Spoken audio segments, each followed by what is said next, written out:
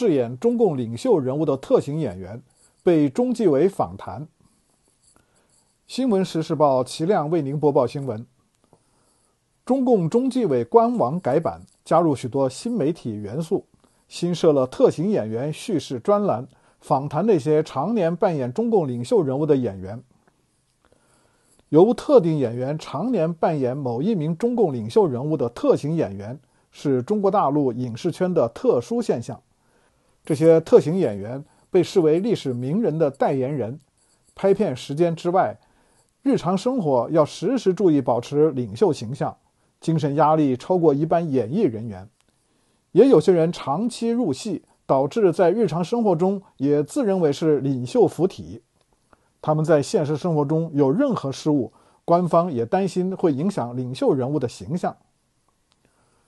中共中央纪律检查委员会今年度改版官网，除了讯息发布外，还增加历史文化。专栏以及图解、影片访谈等等不同以往的内容，其中相当有特色的是特型演员叙事栏目，其中受访的演员多数常年出现在影视戏剧中，具有高知名度，吸引许多中国大陆网友的讨论。中央社报道称，中纪委此举是为了吸引年轻网友，为了宣传毛泽东等中共元老。中央社报道还说。这个演员访谈节目多聚焦在其扮演的中共历史元老等各种伟大事迹和生平，仍不脱中共一贯的宣传风格。第一个刊登的人物是扮演周恩来的特型演员孙维民，之后是饰演邓颖超的特型演员黄威。二日刊出的特型演员是唐国强。